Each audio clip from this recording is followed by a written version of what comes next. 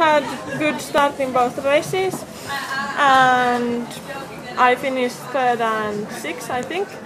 And I'm happy with the day. It was very, very tough. Um, on the upwind, the upwinds made me a bit tired, but it was great on the starts, and then just do my best, go as fast as I can, and try to go in the right place.